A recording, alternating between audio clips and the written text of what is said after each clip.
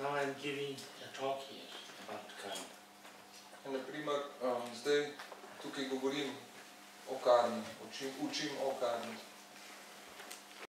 Am I bringing a positive action or a negative action? Ali je to zdaj pozitivno dejanje ali negativno dejanje? Kaj mislite?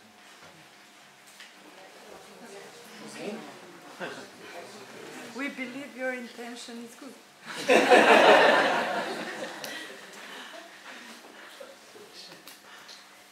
Seemingly it's a positive action, but it really depends on my agenda. Eh, Na vides, na prvi pogled je to pozitivno dejanje, ampak v resnici je pa vse odvisno od tega, kaj imam jaz v zadnji, kakšno agendo imam. The action, my action is not the most important. Samo dejanje ni najbolj pomembna stvar, My agenda behind it. ampak tisto, kar je zadaj, moja agenda. That's from Buddhist point of view called motivation. In uh, z budističnega stališča je to tisto, kar imenujemo motivacija. What I am trying to do. Yeah? Kaj poskušam, kaj je moj namen zadaj za tem, kar počnem. my agenda was only that I want to, you know, I want to bring some ancient wisdom and try to share that with people in, this country, and that's what I want, then it's good.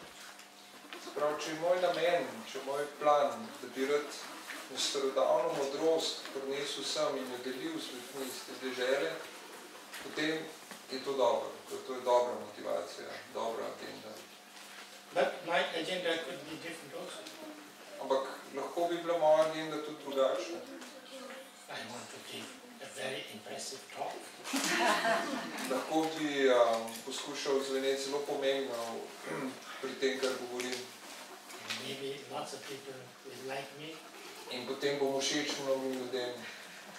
and maybe some beautiful Slovenian girls would fall in love with me. Potem se mogoče kakšne čudovite slovenske deklice ljubile vame. Something like that. Nekaj takega je tudi možno. I'm too old now. Zdaj sem že prestar za to. Maybe I had some hope when it I came earlier. Mogoče bi imel kaj upanja, če bi se tega spomnil prej, ko sem najprej prišel na zahod. So anyway, if some kind of those kind of motivations were there, then it's not really a positive action. It could be even a negative action. Torej, če bi bilo nekaj tazga prisotno v zadju v mojem umu, da bi imel tako motivacijo, potem pa to ne bi bilo pozitivno dejanje, ampak bi bilo celo negativno dejanje. So therefore, you know, even if you are doing same thing, it could be, you know, one could be positive and one could be negative because it depends on our motivation and agenda. In celo, če bi od zunaj gledano nekaj, ne, bilo enako dejanje, je, je lahko enkrat pozitivno, drugič pa negativno, odvisno od naše agende, odvisno od naše motivacije. So therefore, from Buddhist point of view, the karma is very much linked with, you know, the, the, the, the, the emotions and kind of thoughts, uh, or maybe not thoughts, but uh, emotions and, uh, and motivations. In um, zato je karma po, eh, po budističnem naziranju uh, zelo močno povezana z čustvi, uma, v katerem smo, in, motivacijo, ki je prisotna v našem umu. Because that emotion, that uh, kind of agenda, then uh, leaves impression on me, and that's what I become. My, my habit, my personality, and that's and that's what that's my you know kind of karmic result. Kajti um, čustva ali pa čustveno stanje, v katerem sem, v katerem je moj motivacija, ki jo imam, uh, agenda, ki jo imam, Uh, vse to um, potem pusti, pušča zmeraj znova vtise uh, v moji zavesti in to postane navada oziroma to oblikuje potem mojo osebnost in končni fazi na ta način pride do karmičnega rezultata. So therefore, now the moment what I am, In ker sem v tem trenutku, the way I am, what I am, is my karmic, karmic body. That's my karma, the result. kako sem, kar sem, je uh, na nek način lahko rečemo naše karmično telo, rezultat vseh mojih prejšnjih delovanj. It's not just like I did something good and that result is here. It's I did something bad and that one day will hit you. Not too much like that. You know, the, the way I have become is my karma. Uh, in ne gre toliko za razmišljanje na, na, na način, enkrat v preteklosti sem storil nekaj dobrega in zdaj dobro in sem tudi slabe stvari storil in enkrat se mi bo zgodilo nekaj slabega, ampak dobesedno s tem, kar sem razmišljal, s tem, um, kakšno motivacijo sem imel, kakšno je bilo stanje mojega uma, tako je nastal rezultat. Jaz sem tak zaradi vsega, kar sem bil prej. So all sorts of good things, also bad things, also you know, all sorts of mixed up things, you know, that made me what I am now.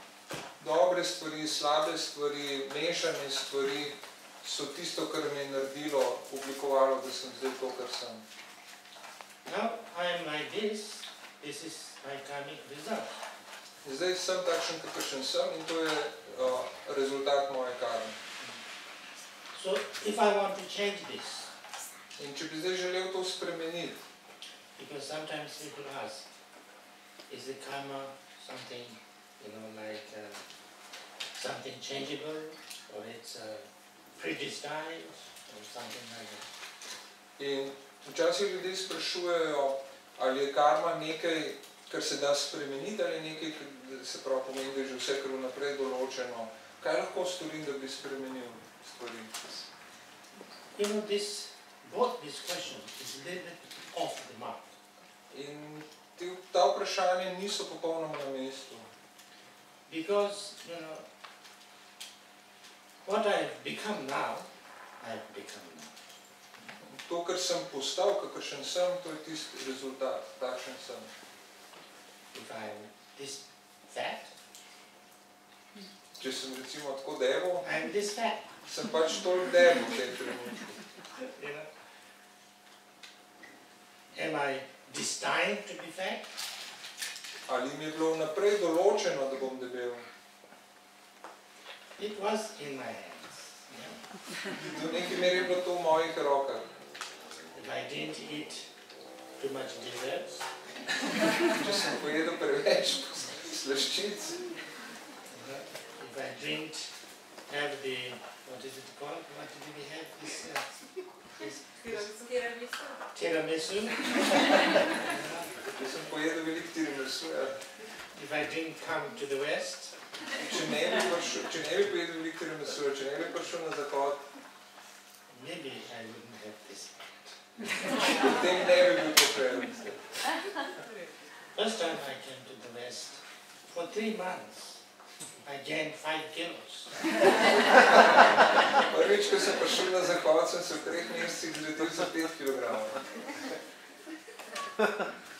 Actually, I find you Westerners have a very, way of doing it. Ja, Pravzaprav se mi zdi, da vi zahodnjaki, da se lotevate stvari na zelo smešen način. You don't have milk, you know, half only kind of, you take out the cream and, you know, you take out the cream from yogurt, you take out all, and then you take tiramisu.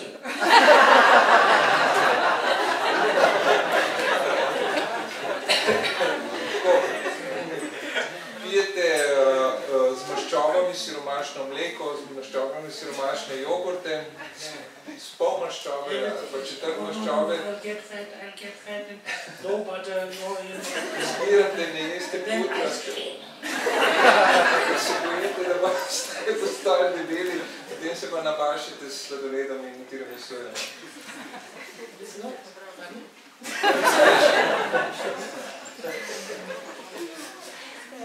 Anyway, I want to get fat. Okay, jaz bi rad bil debel. For Tibetan lamas, the fatter, the better. Tibetanski lame velja, da bolj so debeli boljši. If I'm not fat enough, I'm not big lama. Če nisem dosti debel, potem nisem pomemben lama. Once uh, the lama went to Taiwan, you know, and he said, if I don't spread Dharma, it's okay. If I don't bring lots of donations to my monastery, it's also okay. But I must become fat. Enkrat je še en lama na Tajvan in je rekel, če ne bom nič ljudi naučil darme, v redu. Če ne bom zbral veliko donacij za moj samostan, tudi v redu. Ampak moram se pa zrediti. So anyway, what I have become is, is my karma. hmm? Because all the causes and conditions that made me what I am now is my karma. In kar sem postal, kakršen sem, je moja karma. Vsi vzroki, vse okoliščine, ki so pripeljale do tega, da sem takšen, kakršen sem zdaj v tem trenutku, to je moja karma. So I'm already 61 years old. Zdaj sem star 61 let. That's also from the Western point of view. Tibetan point of view, I'm already 62. In to je zdaj po zahodnjaško, po, po z tibetanskega štetja sem pa star 62 let. so if I want to be, you know, 16, it's also not possible. Zdaj, če bi si zaželel, da bi bil spet star 16, to ni možno. So that's, but now if I want to change from what I am, Pa, če bi se hotel spremeniti? I can change. Kako se spremeniti? Of course, I have the, you know, I have the, uh, what can you say? I have the, uh, all the past kind of, a, what can you say? The, um, the strength. No, I have the impact of my past. In seveda, uh, moja preteklost vpliva na me še zmeraj. So if I want to become thinner, In če bi se hotel, če bi lahko, če bi želel postati bolj vitek, uh, because I've become so fat, I have to work harder. ker sem postal toliko debel, moram, za- če bi hotel postati vitek, toliko več narediti, toliko več delati. And because I become older, it will be harder also. Ker sem se postaral, bi, bo zelo težko. And because I'm lazy, it's even harder. In ker sem uh, še len po vrhu, bo še težje. So it's, I don't have too much hope. Zato se ne nadejam preveč, da- da mi bo uspel skušati. But it is possible. Ampak mo, možno pa je, če se zelo potrudim. That's karma. In to je karma. So karma is about action. Yeah? Karma je delovanje. Je. I I can change, but of course I have the, the, you know, the pressure of the past. Lahko se spremenim. Seveda ima preteklost še zmeraj moč nad mano. It's not like it's written down that I have to be like this, like this, like this, but because of all the causes and conditions happen, so it has its own impact. In nikjer ni pisalo, da moram biti tak in tak in da bom postal tak in tak, kakršen sem. Ampak zaradi vseh okoliščin, zaradi vseh dogodkov, zaradi vseh vzrokov, ki so se nabrali, je pač zdaj prišlo do tega, da, da um, ima to svoj vpliv na moje sedanje. So if I really want to change and a really good, you know, a very strong thing, I. In če si res želim um, spremeniti in če se zelo potrudim, se lahko spremenim. So can the karma be totally broken? Ali lahko popolnoma razklenemo okove karme? That's also possible for Buddhism. Stališče budizma je tudi to možno. If, if I can really realize the nature of if I, my wisdom becomes completely, you know, uh, completely developed. Če popolnoma prepoznam resnično naravo fenomenov, če se moja modrost v popolnosti razvije, then there is no kind of basis of my karma. potem ni nikakršne osnove, na, uh, na kateri bi se lahko akumulirala karma zame. Because all my karma is based on my identification of me. Kajti vsa karma je odvisna od moje identifikacije s pojmom jaz. So therefore, you know, I am like this. You know, this I am a kind of a continuum. So through this continuum, I very strongly identify myself. And so therefore, you know, whatever I do or I happen to me or you know, uh, whatever impact I make, that makes impact and that's what karma is.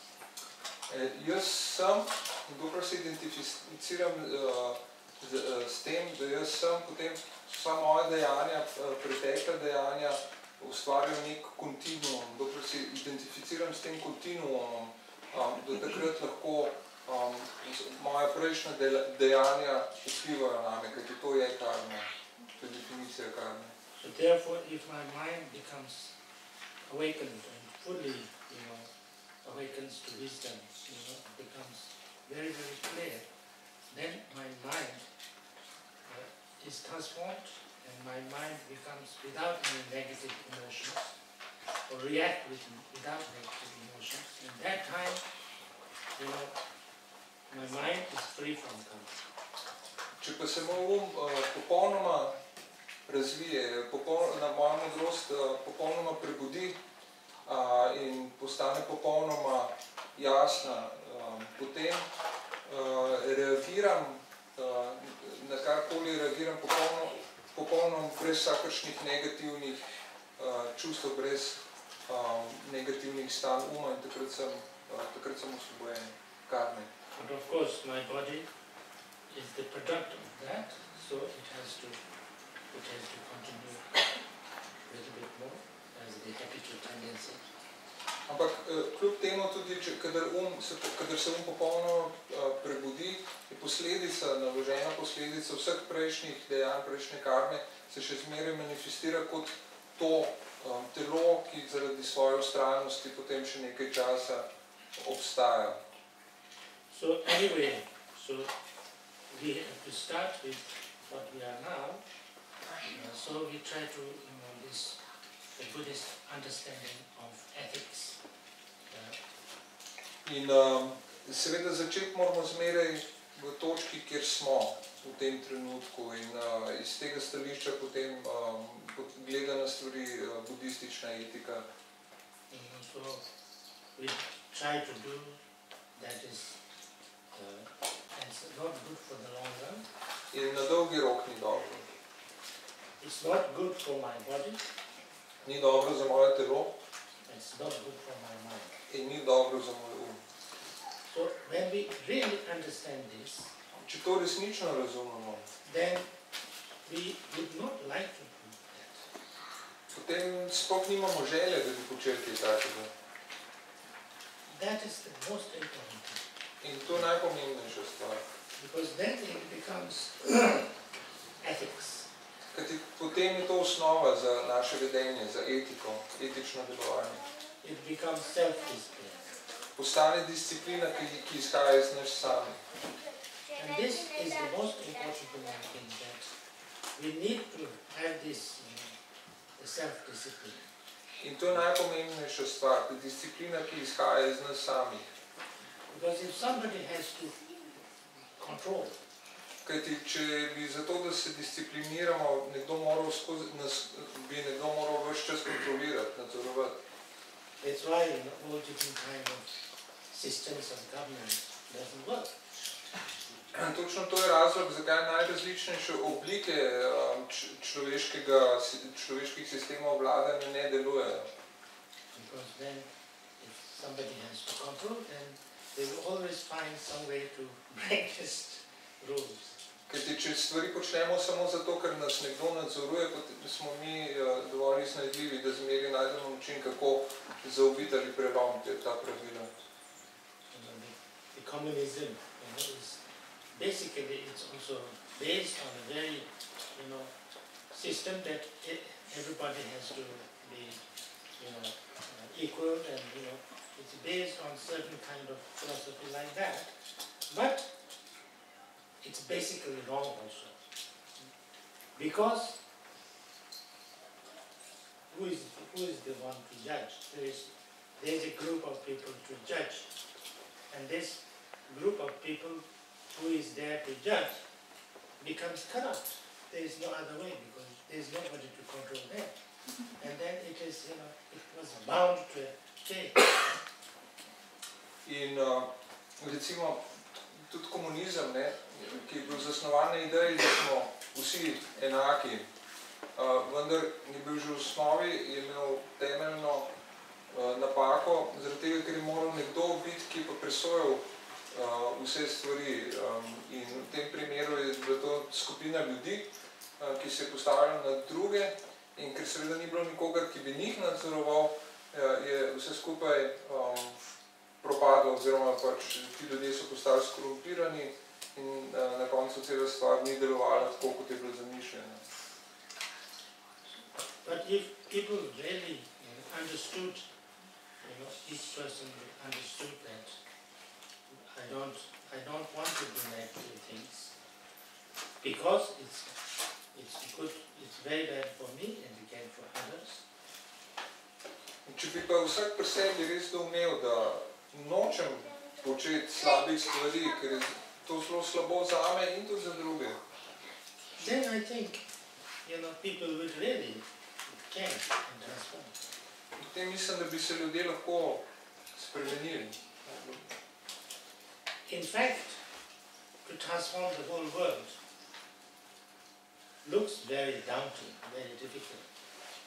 Naprimer, če bi želeli spremeniti svet, ta naloga se zdi neznanska in zelo težka. If you really look kind of uh, deeply, uh, I don't think it is, it is that difficult if you really want it. Ampak če bi globoko pogledali v to, um, mislim, da če si to res želimo, ni to težko, če bi to res želeli. I think there's only one thing everybody has to do Samo ena stvar je, ki jo mora vsak izmed nas narediti, to transform the whole world. da bi spremenili cel svet. Just one. Samo ena stvar. Everybody has to be kind to you. Vsi moramo biti dobri en z drugim. Yeah? If all, all all the people in the world decided to be kind or act kindly to each other today, tomorrow, world is transformed. Če bi se vsi na svetu danes in od danes naprej odločili, da bodo do so ljudi dobri, prijazni, potem bi se v svet spremenil. There will be no conflict, Ne bi bilo konfliktov, no wars, ne bi bilo vojn, no, no, uh, uh, what do you call it, no injustice, ne bi bilo nepravičnosti, no kind of uh, taking each other's things, ne bi bilo kraje, no crimes, ne bi bilo zločinov, no atrocities. ne bi bilo vojnih grozodejstv. So, the world is heaven. Svet bi bil srečen. And it's nice to be, you know, everybody, it's nice, you know, if I, I'm kind, it's good for me, no? It's nice for me, feeling kind and angry and upset. In če sem prijazen, če sem dober, se tudi zelo dobro počutim, če drugače, kot kadar sem ves razburjen in jezen. Everybody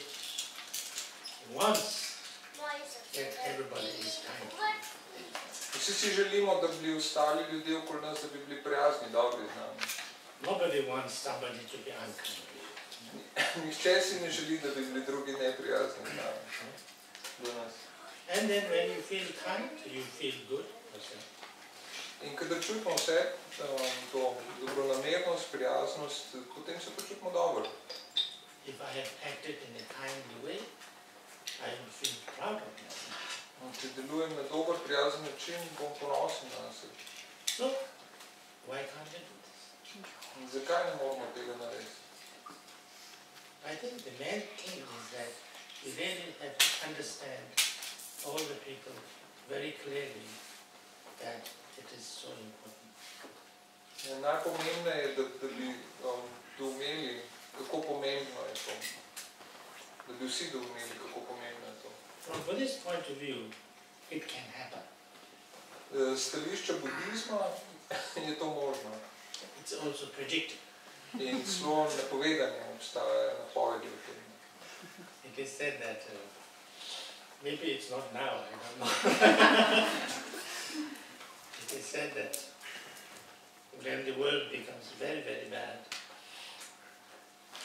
Rečeno je bilo, bila, da ne vem, če je to že zdaj, ampak da bo na svetu že zelo, zelo slabo, we act with violence, we act with greed, we act with, you know, um, all sorts of negativity, and then the world becomes worse and worse, lots of conflict, lots of uh, poverty, lots of, you know, all these things, worse and worse and worse.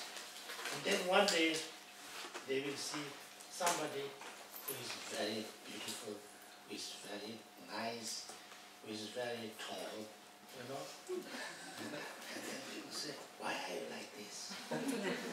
Enkrat, um, ko bo svet že v zelo slabem stanju, uh, to je ta uh, prerokba in bo polno nasilja, uh, konfliktov, pohlepa, vse se bo vse čas um, slabšalo, dokler ne bo razmere že nevzdržne in potem se bo pojavil nekdo, ki bo vsi ugledali in bo zelo um, visok, vitek in zelo lep in bo rekel, "Ka- zakaj si tak? And then people say, oh, because I was kind and I act with compassion and I do all positive things, that's why I'm like this. E, Zato, ker sem, bo rekel, ta oseba bo odvrnjena, zato, ker sem a, bil dober, ker sem deloval iz sočutja in iz ljubezni in zato sem postal tak. And then everybody says, oh yes, we should go to like. In potem bodo vsi rekli, ja, ja, mi tudi hočemo biti taki in svet bo postal spet dober. In ta oseba um, se bo imenovala Maitreya. But Nagarjuna says that it can be also, there are many, can be many loops in between that time and, you know, Nagarjuna, slavni budistični učenjak, je napovedal, da lahko je vmes, preden pride Maitreya, še veliko vzponov in padcev. how, how the, you know, how world would be depends on the people in, in that world, like us. In v kakšnem stanju bo svet je odvisen, je odvisno od uh, ljudi, ki živimo v njemu, od nas. So if we, if we act with kindness, with compassion, with positive ways, then, you know, more and more people do that. The more and more positive the world. Se pravi, če bomo delovali iz dobrote, iz sočutja, če bomo delovali na pozitiven način, potem bo ve- vedno več ljudi um, tudi uh, delovalo na tak način in svet bo postal pozitiven. And then, if majority of the people act and react like that, the minority has to pretend to be. In če bo več, večina ljudi um, delovala in se odzivala na tak pozitiven način, potem tudi tist, tista manjšina, ki razmišlja negativno, se bo morala vsaj delati, da delujejo na pozitiven način. But these days I see that sometimes, you know, when somebody is really kind or compassionate, Dan današnji pa vidim, da tudi eh, če nekdo res sočuten, res uh, ljubeč, there is some kind of a thing, oh, he's too kind, he's not efficient. ne- ne- neka vrsta miselnosti, da ljudje rečejo potem, a ta je pa preveč prijazen, to ni učinkovito. Kind of, you look up to somebody who is like merciless. Za vzor, ali pa vzgled so nam ljudje, ki so na nek način neizprosni, neusmiljeni. and say this is his very stuff, he's very you know, like strong and very successful. In rečemo, aha, ta je pa najbolj neusmiljen, ta je pa močen, ta je ta bo uspešen, ta temu ratujejo stvari. I see that there is a little bit that kind of, you know, way of saying everywhere. In vidim, da, da povsod po svetu nekako za- začenja ta miselnost se pojavljati. If that is there, that's the worst. Then, you know, everybody wants to try to become like that. In to je najslabši možen način eh, razmišljanja, ker potem vsi hočejo postati taki. And then they are kind of way off. I think there is a there is a very strong feeling that the most important thing is my success. In obstaja močno prepričanje v sedanjem današnjem svetu, da najbolj pomembna stvar na svetu je, da jaz uspem. Yeah. Both, you know, socially, by the society, as well as individually, that becomes that I have to succeed. I have to, uh, that becomes the utmost kind of. Eh, Kot, bodi si kot posameznik ali kot dru- družba, hočemo na vsak način, za vsako ceno uspeti, to je najvišja prioriteta. I think I told you there is this, there is an old saying in Sanskrit which says that for the sake of the world, I sacrifice my country. In obstaja v sanskritu, obstaja en pregovor, mislim, da sem ga že povedal, da za dobrobit sveta um, bom žrtvoval svojo domovino. For the sake of my country, I sacrifice my, my village. Za dobrobit svoje domovine bom žrtvoval svojo vas. For the sake of my village, I sacrifice my family. Za dobrobit vasi bom se žrtvoval svojo družino. For the sake of my family, I sacrifice myself. Za dobrobit svoje družine bom žrtvoval samega sebe. When that kind of, uh, you know, motivation or way of thinking is there, then it's kind of, uh, you know, uh, the, the benefit of the majority becomes the most important. In kadar razmišljamo na tak način, kadar um, prevladuje tak način razmišljanja, potem uh, je dobrobit večine postane najbolj pomembna stvar. But these days, I think, is opposite. En dan današnji je pa ravno nasprotno. Almost said that for the sake of my country, I sacrifice the world. Za, za dobrobit svoje dežele bom žrtvoval cel svet. For the sake of my village, I sacrifice my country. Za dobrobit moje vasi bom žrtvoval mojo domovino. For the sake of my family, I sacrifice my village. Za dobrobit moje družine bom žrtvoval mojo vas. For the sake of myself, I sacrifice everything. In za mojo dobrobit bom žrtvoval vse ostalo. I think that needs to change. That way of thinking needs to change. Mislim, da se mora tak način razmišljanja spremeniti. And then only I think the world will become because we talk about economy, we talk about politics, but it all depends on people. Edino na ta način se bo svet um, lahko spremenil. Govorimo o ekonomiji, govorimo o politiki, ampak v resnici gre pa v končni fazi zmeraj za nas, za ljudi. Buddha never really recommended any one system of government or any one system of you know, uh, economy or anything like that. Buda nikoli ni govoril ali pa priporočal katerega koli sistema družbene ureditve ali pa načina, kako je urejena ekonomija, nikoli ni govoril o tem. His main understanding was that it's about the individuals who's doing it. Ker Njegov pogled je bil ta, da je vse odvisno od tega, kako se posamezniki lotevajo določenih stvari. Even if it was a kingdom or you know, it was a king, then if that king was really a kind of a a great king, compassionate king, then it will be a kind of a golden, you know, uh, monarchy.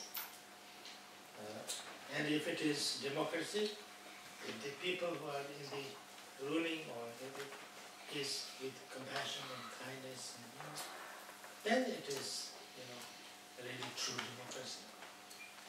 Even if you are a dictator, a dictator is really compassionate and kind, then it's a benign dictatorship.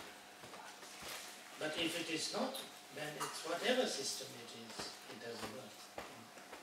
Kajti, zdaj, ne glede na to, lahko je, naprimer, kraljevine, kadar je kralj uh, sočuten, uh, dobronameren, uh, razsvetljen, uh, potem bo v tem, tem kraljestvu zlata doba in uh, lahko imamo demokracijo in uh, ljudje, ki so izvoljeni predstavniki ljudstva, uh, vladajo na sočuten, uh, dobronameren način, in bi spet to prineslo blaginjo takšni družbi, Lahko imamo celo avtokrata, diktatorja, ki, ki pa je, ki, ima, ki je pozitivno naravnan in tudi v tem primeru to pozitivne učinke na družbo. Medtem ko, če bi v vseh teh sistemih bilo obratno, če bi tisti, ki upravljajo, imeli negativno motivacijo, negativen um, bi ravno tako katerikoli družben sistem posledično bil slab in negativen. Torej ni odvisno od, od samega sistema. But then, uh, from the Buddhist point of view, it's not about complaining about the things. It's about oneself. In z budističnega stališča um, se ne kaže pritožvati nad tem, kako grejo stvari, v kakšnem stanju je svet, ampak pogledamo sebe. One has to work on oneself. Delati moramo sabo. Try to be positive, you know, and you know, everything has to start with oneself. Poskušati moramo delovati na pozitiven način in vse se začne pri nas sami. It's nothing called I can transform, how I can transform the world. It has to start with myself. Um, nikjer teksti ne govorijo o tem, kako spremeniti svet zunaj, ampak o tem, kako spremeniti sebe, kako lahko spremenim sebe. Because if I transform, I can, even I can myself totally transform. And through my own transformation, I can, you know, I can, what can you say? Even if everything around me is not okay, I can be okay. Kajti, če se lahko popolnoma spremenim, um, potem ne glede na okoliščine, tudi če bi bilo vse okoli mene popolnoma negativno, ampak jaz bom v tistem uh, primeru uh, bom v redu. Because, you know, uh, if I can really transform myself, the way I experience things will be changed. Kajti, če se lahko res spremenim, potem bo način, kako doživljam stvari, popolnoma spremenjen. So therefore, you know, the, from the Buddhist point of view, the, the result of our actions of the karma, kind of three things, you know, three things. In z budističnega stališča lahko govorimo o treh stvareh kot uh, posledici našega delovanja, kot rezultat naše karme. One is, it's kind of a, uh, direct result. Ena prva stvar je neposreden, neposredna posledica našega delovanja. That is, if I keep on like very strong negative things, uh, I can create you know, myself a helder. If I do some really positive things, I can create myself a heaven.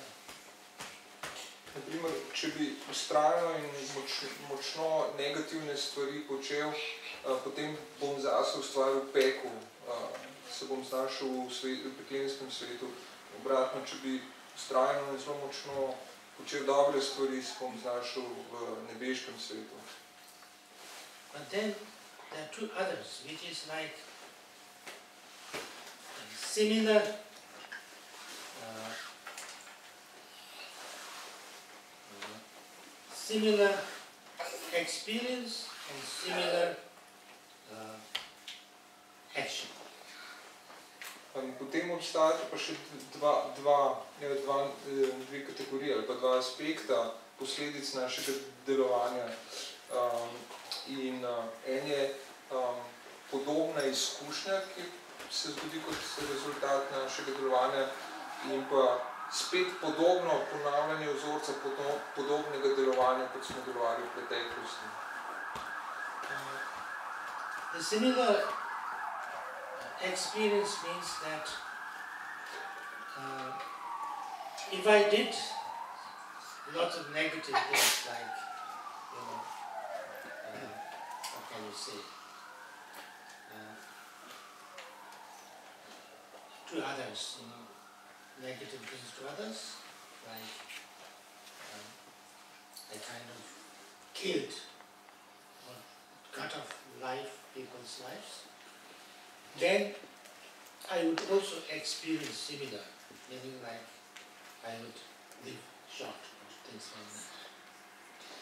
Recimo, če sem počel negativne stvari, da sem veliko ubijal, da sem uh, mnoga, mnogokrat prekinil življenjski tok drugih bitij, um, potem bom um, doživel kot posledico tega, bom doživel podobno izkušnjo, moje, moje življenjsko uh, čas trajanja mojega življenja bo zelo kratek. What I did to others, similar thing will happen to me. Pravi, kar sem počel drugim, kar sem storil drugim, se podobna reč se bo zgodila meni. Another is, if I did something, you know, negative thing or positive thing, that will become my habit, and then even in my next lives and next lives, kind of I tend to do like that, and I tend to become a little bit like that. A In druga stvar, oziroma tretja stvar, je to, da kadar mm, vztrajno ponavljam ali vztrajno delujem na določen način, um, to ustvari neke vrste um, navado, ne glede na to, uh, naj se bodo to pozitivna ali negativna dejanja. In to bo pripeljalo do rezultata, da bom tudi v naslednjih življenjih um, poskušal, ali pa uh, ne poskušal, ne poskušal, tudi v naslednjih življenjih bom počel podobne stvari, So therefore, kot uh, neke vrste navada. therefore, it is, it becomes very clear and very important to, to kind of try to work on more positive actions and less negative actions. Uh, In iz tega je zelo jasno razvidno, da je zelo pomembno, da delamo na tem, da um, počnemo čim več pozitivnih dejanj in poskušamo čim bolj zmanjšati negativne dejanja. But then there is something I think is very important and I think I should mention this. Ampak še nekaj je, kar je zelo pomembno, mislim, da moram to omeniti. Uh, I don't know if I should mention this or not. Pravzaprav ne vem, ali ne govorim o tem ali ne. Yeah. This is my observation. To je v bistvu moje opažanje. I, I kind of observe that like in most of the, the religions, uh, what is recommended, you know, what you have to do. The followers of the good practitioners are supposed to be fully acting like that. In Opazil sem, da je mnogo religijah tako, da um, naj bi tisti, ki sledijo določeni uh, religiji, popolnoma zvesto sledili pravilom, ki jih narekuje ta religija. like Muslims, like if you are Muslim, you don't eat meat, you don't eat pork. Yeah. You Naprimer, just don't eat pork. Če si, naprimer, če si musliman, potem enostavno ne ješ svinjskega mesa. Many things like that. In mnogo zapovedi, ki so uh, izrečene v tem smislu. Buddhists are not that. V budizmu ni, ta, ni tega. Buddhists are, if you are Buddhist, it's very good if you don't eat meat. Če si budist, potem je zelo dobro, če ne ješ mesa. If if you eat meat, okay? Če, je, če ješ meso, tudi v redu. You should reduce a little bit. Uh, lahko poskušaš malo zmanjšati porabo. You know, it's, at least you don't eat on, you know, like full moon day. Recimo lahko vsaj za, uh, v polni luni ješ mesa. There is nothing like, you know, what can you say? Like the minimum thing you do. Uh, ne obstaja um, nek minimum, ki ga moraš narediti. I was, I was quite, uh, what can I say, shocked when I saw this, you know. There are 500 different types of um, five precepts. Uh, obstaja, in bil sem šokiran, ker sem ugotovil, da obstaja 500 različnih verzij uh, petih zaobljub, ki obstajajo v budizmu. You know, if you if you are practicing Buddhism, In če smo budisti, kadar smo Dharma, actually we never say Buddhism, we say Dharma, if you practice Dharma. Dobro, ne govorimo o budizmu, ne govorimo o dharmi, kadar prakticiramo dharmo. Then you have the option of taking uh, five, five precepts. Potem imamo možnost, opcijo, da vzamemo pet zaobljub. These five precepts are not to kill human beings and humans to be. Humans to be. Uh, I thought it was not to kill anything.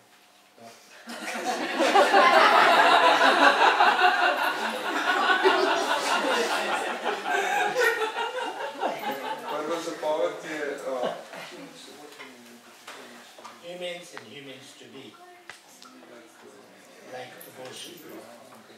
Se pravi, prva, prva eh, zaobljuba je, da ne ubijemo človeških biti in pa um, človeških zarodkov. Uh, not to tell, not to steal uh, Druga, za, above certain, certain druga zaobljuba, da, je, eh, je, jemljamo stvari, ki niso naše, ali pa vsaj do določene mere poskušamo upoštevati.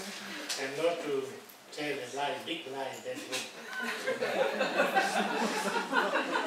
that would mislead people. To, to, da ne govorimo grobih laži, ki bi zavajali druge ljudi. and uh, not to um, not to conduct uh, sexual misconduct da se eh, ne vedemo neprimerno, eh, kar se tiče seksualnih odnosov and not to get intoxicated. in da se ne omamljamo. This is generally the five percent. To je v splošnem je to pet zaobljub, ki jih eh, vzamemo. But then, if you want to take one of them, that's also good. Ampak lahko vzamemo tudi samo eno od teh zaobljub. Two of them better, Boljše, če vzamemo dve. three of them much better, Tri zaobljube veliko boljše. four very good, Štiri zaobljube zelo dobro. and all five really great. In pet zaobljub odlično. But that's not enough, you know, this, this is the general thing, but then in one sutra I found there are 500 different types of And one is like, just to give you an example, if I say, I will, I will rejoice at somebody who is praising that somebody not killing. That's also one. It's a little bit too much, no? No, te pravi, lepo, če v eni sutri prebral, obstaja 500 različnih načinov, kako lahko se držimo teh zaobljub ali pa kako uh, treniramo s temi zaobljubami. Prav, da v eni um, uh, verziji, recimo ena verzija kot primer, je um, kot um, um, primer, kako uh, se držimo zaobljube, to, da se zelo veselimo, ko nekdo uh, drug izjemno hvali nekoga tretjega ki se je vzdržal ubijanja. To je že malo preveč komplicirano. So the whole thing is about, you know, uh, you try to, you know, you try to understand and then see what I can really and I want really to do. And then step by step I progress. It's not that, you know, if you are a Buddhist or if you are practicing Dharma, you have to do this. There's nothing. So it's a training. It's working on yourself step by step. Because it is, it has to be not imposed. It has to be with understanding and conditions. Because if it is imposed, is not good enough. Because then, if I understand clearly that this is not good, so therefore I would not do. This is good, therefore I will do. So, when that understanding becomes the basis of our ethics, then there is nothing like, uh, you know, uh, what can you say? This is a, too much or you know, things like that. There's nothing like that. It just, you know, uh, you understand the, uh, the basic kind of uh, uh, result or the, you know, of that, what is the consequences of these actions, and then whether you want to do that or you don't want to do that. That's, it's si- similar to like, you know, there's a glass of. So if I know the glass of hot water, then, you know, nobody has to tell me this glass of hot water, you cannot put your finger in it. yeah? If I want to be burnt, I will put it. If I don't want to burnt, I don't want to put it. Yeah? So it's not a compulsion, it's just my own choice. So that has to be the understanding. This is the whole kind of approach, Buddhist approach is to see clearly what are the consequences of my actions and my emotions. And then understanding that, I work on myself. Because, you know, most of the time, especially emotions, people think that there's no alternative. Most people think that if I have emotion, either I have to express it or I have to repress it. There's no other option. But there are lots of options. We can transform. We can let it go. We always let it go we never act out everything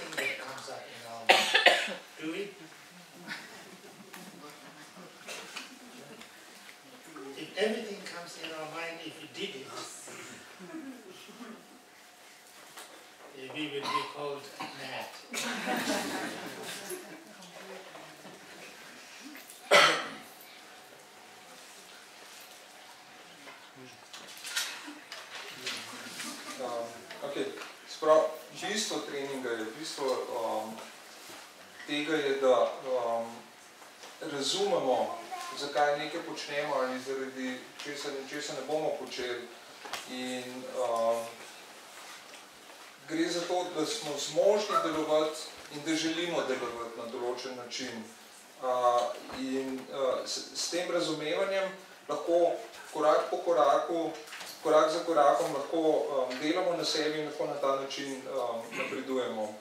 Um, ne gre za to, da um, smo prisiljeni na nekaj, ne gre za neko zunanjo prisilo, gre za to, um, da um, treniramo. Kaj, uh, kajti tisto, kar treniramo, ni disciplina, ki bi bila usiljena od zunaj, ampak izhaja iz našega um, razumevanja. Kajti, če bi šlo za nekaj, kar je usiljeno od zunaj, to ni preveč dobro. Um, in ne bi delovalo. Če zelo jasno razumem, um, da je nekaj dobro ali da nekaj ni dobro in se potem v skladu s tem odločam, da bom nekaj počel ali pa določenih stvari ne bom počel, um, potem je to osnova uh, za moje delovanje. Um, na, na osnovi tega se lahko um, jasno odločam in v tem primeru ni nikakršna um, uh, nikakršen način treninga ni prehud, ne, ne, nikoli ne rečem, da je preveč, ker vem, da je nekaj dobro, potem želim um, uh, trenirati na tak način. Delam pa lahko tisto, kar v danem trenutku zmorem, se pravi, um, sam pri sebi moram razumeti, kaj lahko storim in potem delujem na ta način. Nihče uh, zunaj ne more določiti, um, kaj bi moral storiti in česa ne. Um, in uh, kadar razumemo, uh, v temelju razumemo, uh, kakšni so rezultati našega delovanja, kakšni so um, posledice naših um, de, dejanj, potem se lahko sami odločamo, če določeno stvar želimo početi ali določene stvari uh, ne želimo početi. Podoben način, recimo Rinpoče pravi, če imam pred sabo kozarc vrele vode in mi je jasno, da je to vrela voda, um, potem um, vem, mi je tudi jasno, da če bom dal noter prst, da se bom opekel. Uh, in potem se lahko sam odločam na osnovi tega, če si želim imeti opečen prst, lahko vtaknem prst noter. Če si ne želim imeti opečenega prsta, ne bom šel vtikati eh, prsta v um, kozarc vrele vode.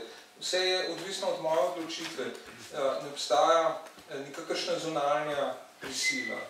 Um, in kadar um, vi jasno vidimo, kadar razumemo in jasno vidimo, potem lahko um, poznamo posledice naših dejanj, uh, posledice um, naših stan uma, posledice naših um, um, čustev in um, lahko delamo na tem. Se pravi, to je nekaj, kar, s čemer lahko delamo. Uh, uh, še posebej, naprimer, uh, čustva. Uh, veliko ljudi misli, da ne obstaja nobena alternativa, da lahko s čustvi naredimo samo to, da ali hodi si izrazimo ali pa zatremo potlačko. Uh, ampak v resnici uh, to sploh ni res. Ne? Čustva lahko preobrazimo, uh, čust, čustva lahko pustimo, da grejo. In pravim, če tako tako kar naprej to počnemo, pustimo čustvom, da grejo, ker ti nihče izmed nas ne izrazi z besedami ali predejanji vseh svojih čustov. To je dejstvo.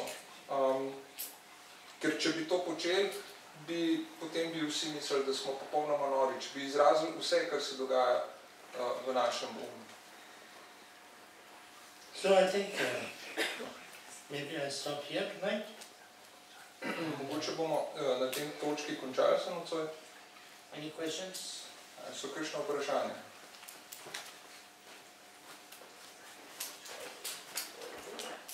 Kadar si zelo dober do drugih, kdaj veš, da te, neha, da te ne izkoriščajo tvoje dobrote?